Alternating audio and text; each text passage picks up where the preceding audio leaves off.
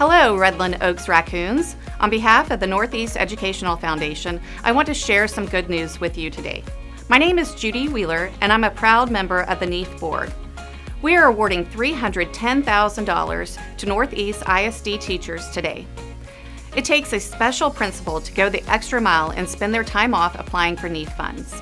During a pandemic, it takes an absolute rock star of a principal to submit a NEEF grant application.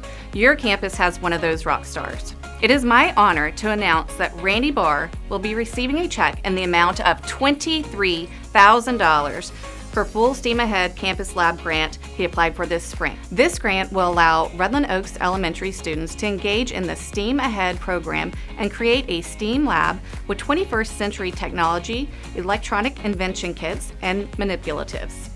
Congratulations, Randy. We wish we were celebrating with you and your teachers in person, but we hope this video allows you to share your accomplishments with teachers, students, friends, and family. We look forward to seeing your project in action.